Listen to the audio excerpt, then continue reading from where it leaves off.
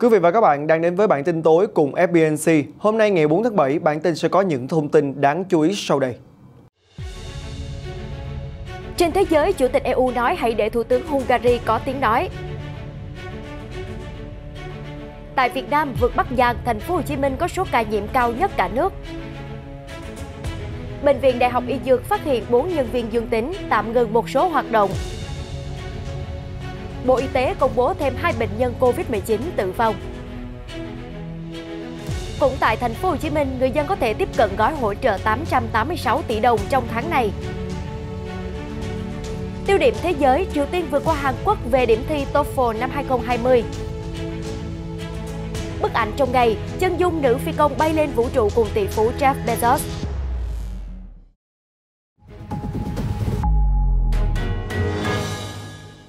Còn Huy xin chào quý vị, mở đầu sẽ là phần tin thế giới. Sau khi tấn công vùng Caribe khiến ít nhất 3 người thiệt mạng, từ hôm thứ Sáu, bão Elsa đã mạnh hơn và đe dọa gây nguy hiểm cho quần đảo Florida Keys, đông nam nước Mỹ. Trong ngày Quốc khánh Hoa Kỳ 4 tháng 7 hôm nay, người dân nhiều nơi ở bang Florida cũng trải qua tình trạng ngập úng khi mực nước dâng cao từ 30 đến 120 cm so với mức bình thường. Trung tâm Bão Quốc gia Mỹ cảnh báo sức gió của bão Elsa có thể lên tới hơn 280 km/h, diễn biến khó lường. Bão có thể đổ bộ Nam Florida vào đêm Chủ nhật hoặc sáng thứ Hai, gây mưa kéo dài trong tuần tới. Nga hôm qua đã báo cáo 697 ca tử vong liên quan đến COVID-19 trong vòng 24 giờ, đánh dấu ngày có số ca nhiễm cao nhất kể từ khi dịch bùng phát và là ngày thứ năm liên tiếp xác lập những kỷ lục đáng buồn. Chính phủ cũng ghi nhận hơn 24.400 ca nhiễm mới, cao nhất kể từ tháng 1. Giới chức cho rằng biến chủng Delta và tình trạng tiêm chủng chậm là những nguy cơ gây ra khủng hoảng COVID-19 ở hiện tại. Moscow, nơi bị dịch tấn công mạnh mẽ nhất ở Nga, đã triển khai nhiều biện pháp khuyến khích người dân tiêm chủng. Theo đó, các quán cà phê, nhà hàng, quán bar chỉ được phục vụ trong nhà đối với những ai có mã QR trên điện thoại, cho thấy họ đã tiêm phòng, đã có kháng thể hoặc đã xét nghiệm âm tính với COVID-19. Theo Reuters, vaccine ngày càng trở nên phổ biến và dễ tiếp cận ở Nga, nhưng các cuộc khảo sát cho biết người dân chần chừ tiêm phòng. Một cửa hàng kebab ở thủ đô London đã tặng 1.000 suất ăn miễn phí vào hôm qua 3 tháng 7 để kỷ niệm cựu Bộ trưởng Y tế Anh Matt Hancock nộp đơn từ chức. Trước đó, cựu quan chức chuyên trách về COVID-19 đã bị phát hiện ôm hôn trợ lý của mình, vi phạm quy định chống dịch do chính cơ quan của ông đề ra. Sam, một trong những đầu bếp tại nhà hàng Lebab cho biết, tôi nghĩ chúng ta có quá đủ những quyết định tồi tệ của Matt Hancock rồi. Thật sự đáng ăn mừng khi ông ấy từ chức. Sau khi ông Hancock từ chức, ông Sajid Javid đã nhanh chóng được bổ nhiệm trở thành Bộ trưởng Y tế Anh. Quan điểm của tân Bộ trưởng là sớm dỡ bỏ mọi quy định hạn chế chống COVID-19 và tái mở cửa kinh tế nước Anh. Thủ tướng Slovenia, nước đang giữ chức Chủ tịch Luân phiên Liên minh châu Âu EU mới đây cho biết ông hy vọng các lãnh đạo toàn khối sẽ tôn trọng và để Thủ tướng Hungary Viktor Orbán được quyền bày tỏ ý kiến về tương lai của khối. Lãnh đạo Slovenia cũng đã cảnh báo việc trục xuất và cô lập Thủ tướng Orbán sẽ làm cho EU gặp khủng hoảng. Thủ tướng Janez Janša của Slovenia cùng với các lãnh đạo của Ba Lan và Hungary hiện đang được xem là có đường lối dân tộc và dân túy mạnh mẽ. Ba quốc gia Đông Âu này đang bất đồng với các quốc gia phía Tây như là Pháp, Đức, Bỉ, Hà Lan trên nhiều lĩnh vực. Tổng thống Pháp Emmanuel Macron mới đây cũng đã phải thốt lên chia rẽ Đông Âu, Tây Âu đang ngày một nặng nề. Được biết dự luật kỳ thị người đồng tính của Hungary đang gặp phải sự phản đối mạnh mẽ của các thành viên EU phía Tây. Nhiều nước đã kêu gọi tẩy chay cũng như là cô lập Thủ tướng Viktor Orbán. Một tòa án Azerbaijan mới đây cũng đã kết tội 14 quân nhân Armenia vì nói dối và cố tình xâm nhập biên giới một cách bất hợp pháp. 12 người bị kết án 6 tháng tù và hai người bị kết án 4 năm tù.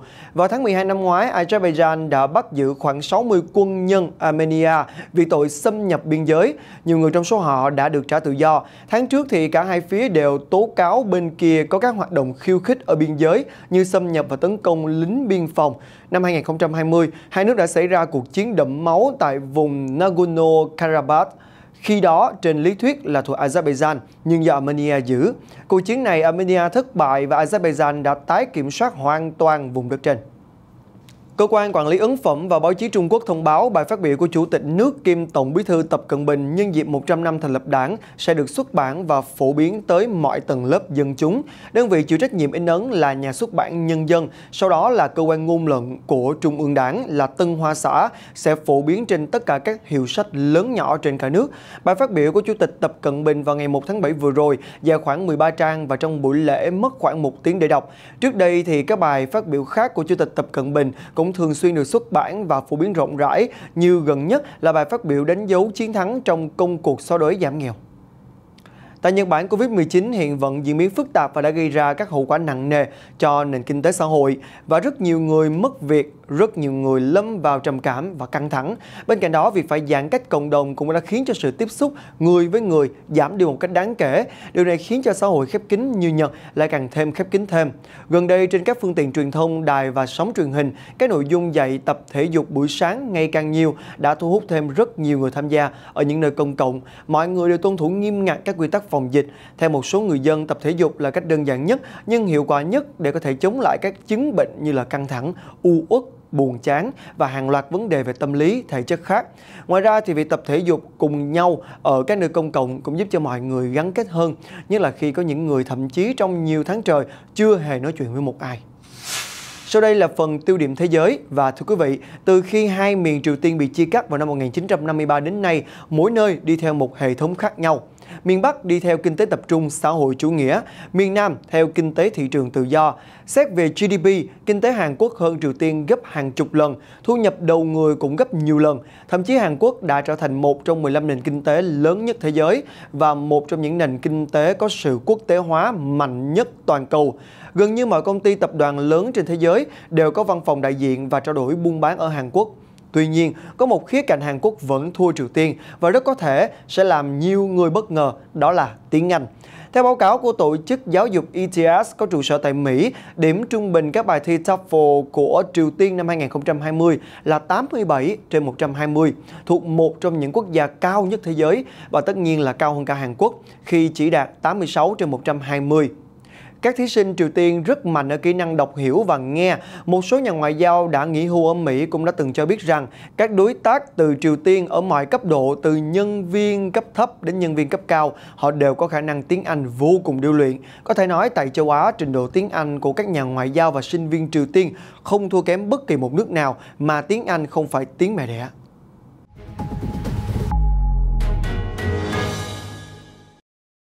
Theo Bộ Y tế công bố, thành phố Hồ Chí Minh sáng nay có thêm 217 ca nhiễm, trưa nay thêm 213 ca. Sau khi ghi nhận 430 ca mắc mới này, tổng số người mắc Covid-19 ở thành phố trong đợt dịch thứ tư đã lên tới 5.865 người, vượt Bắc Giang trở thành tỉnh thành ghi nhận số ca nhiễm cao nhất cả nước.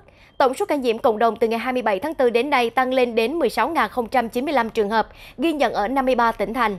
Trong nỗ lực chặn đà lây nhiễm COVID-19, Sở Y tế Thành phố Hồ Chí Minh đã đề nghị các quận huyện tăng cường test nhanh kháng nguyên, dự kiến test khoảng 150 đến 200 ngàn mẫu mỗi ngày. Thêm một bệnh viện ở thành phố Hồ Chí Minh bị Covid-19 tấn công, đó là bệnh viện Đại học Y Dược thành phố Hồ Chí Minh. Vào trưa nay vừa báo cáo phát hiện 4 người dương tính, trong đó ba người là nhân viên y tế và một nhân viên cung cấp dịch vụ. Họ không tiếp xúc với nhau và chưa có bằng chứng về lây nhiễm chéo. Các trường hợp này được phát hiện trong quá trình bệnh viện xét nghiệm định kỳ hàng tuần đối với tất cả nhân viên y tế và người làm việc ở cơ sở y tế này. Những nhân viên y tế này cũng đã được tiêm chủng vaccine phòng COVID-19. Tất cả nhân viên y tế còn lại thuộc bệnh viện Đại học Y Dược Thành phố Hồ Chí Minh đều có kết quả âm tính. Tuy nhiên do tính chất lây nhanh của chủng Delta đợt này, bệnh viện tổ chức xét nghiệm lại trong hôm nay và ngày mai 5 tháng 7 cho toàn bộ nhân viên. Bệnh viện tạm ngưng tiếp nhận khám chữa bệnh từ ngày 3 tháng 7 và sẽ thông báo hoạt động trở lại khi đảm bảo an toàn. Bộ Y tế sáng nay 4 tháng 7 công bố thêm hai bệnh nhân COVID-19 tử vong. Đây là hai ca tử vong thứ 85 và 86 kể từ khi dịch bùng phát.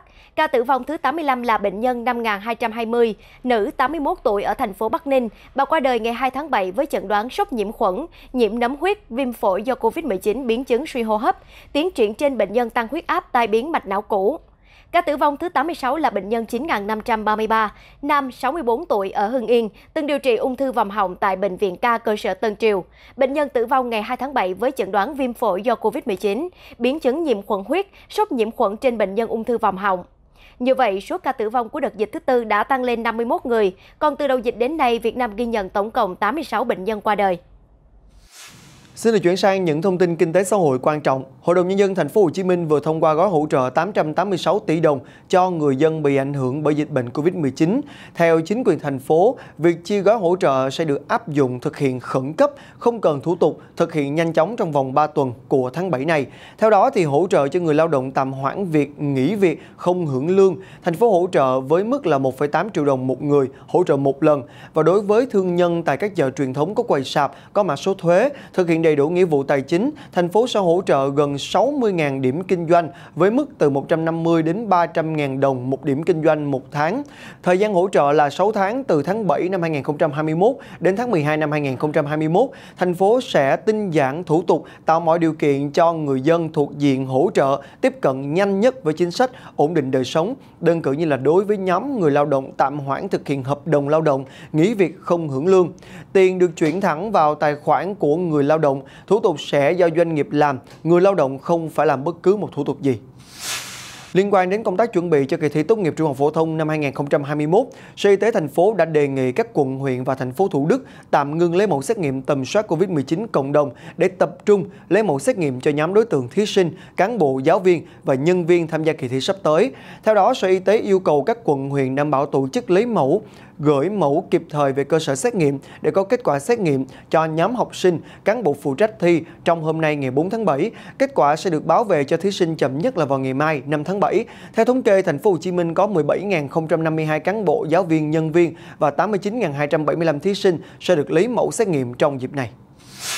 Mới đây, Cục Hàng không Việt Nam đã có văn bản báo cáo Bộ Giao thông Vận tải về đề xuất tạm dừng các đường bay đi đến cảng hàng không Thọ Xuân, cảng hàng không Phú Bài, cảng hàng không Chu Lai theo văn bản đề nghị của Ủy ban nhân dân các tỉnh Thanh Hóa, Thừa Thiên Huế và Quảng Nam.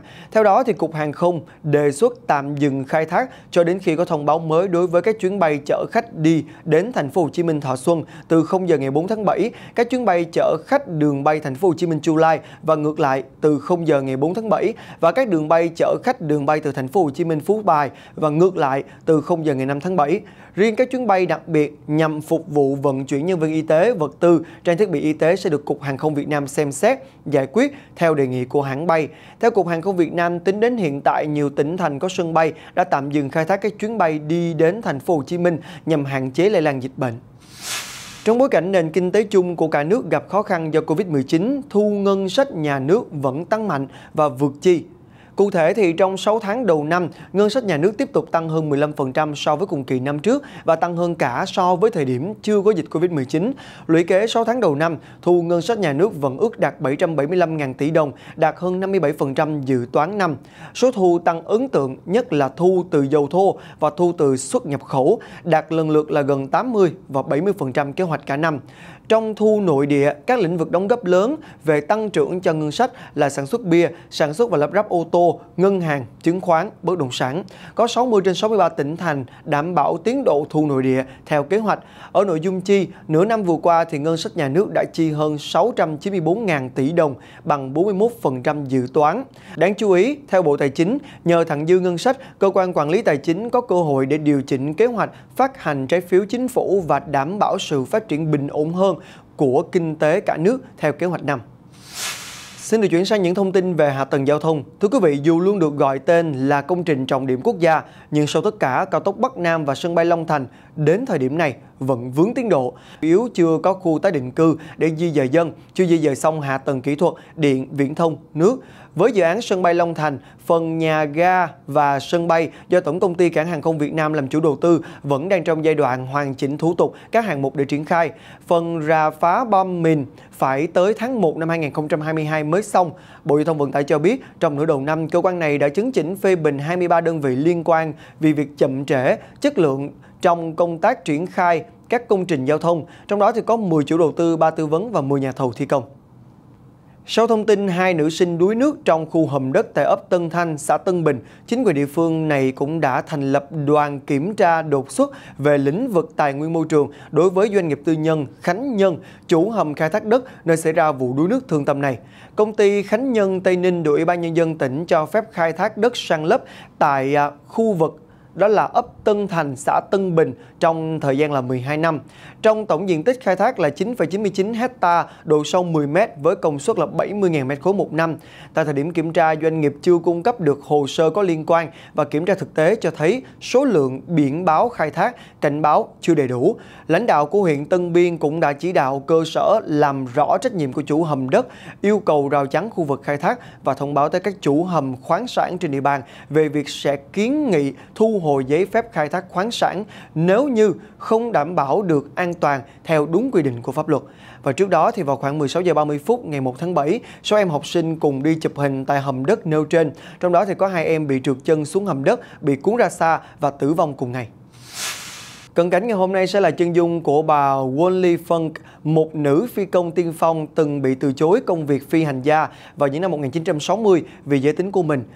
Nhưng cuối cùng sau hơn 60 năm kiên trì với ước mơ cháy bỏng, bà đã chính thức trở thành nữ phi hành gia cùng tỷ phú và người sáng lập Amazon Jeff Bezos sẽ bay vào vũ trụ trong chuyến bay kéo dài 10 phút trên tên lửa New Shepard của ông vào cuối tháng 7 này. Bà Phân, năm nay 82 tuổi, sẽ là người già nhất từng du hành vào vũ trụ sau khi phi hành gia John Glenn quá cố lập kỷ lục ở tuổi 77 khi ở trên tàu con thoi Discovery vào năm 1998. Bà Phân trở thành nữ thanh tra đầu tiên của Cục Hàng không Liên bang Mỹ vào năm 1971 và là nữ điều tra viên an toàn hàng không đầu tiên của Ban An toàn Giao thông Quốc gia Hoa Kỳ vào năm 1974. Bà Phân cho biết bà đã dạy bay cho hơn 3.000 người.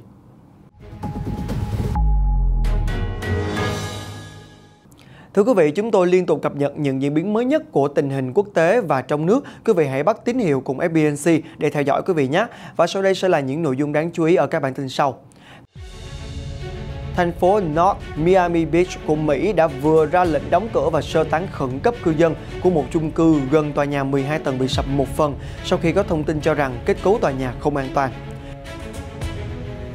Tình trạng đua xe trái phép lạng lách đánh võng gây rối trật tự công cộng ngày càng diễn ra nhiều hơn khi chỉ trong 6 tháng đầu năm 2021, cảnh sát giao thông cả nước đã phối hợp với các đơn vị chức năng phát hiện và xử lý 435 vụ.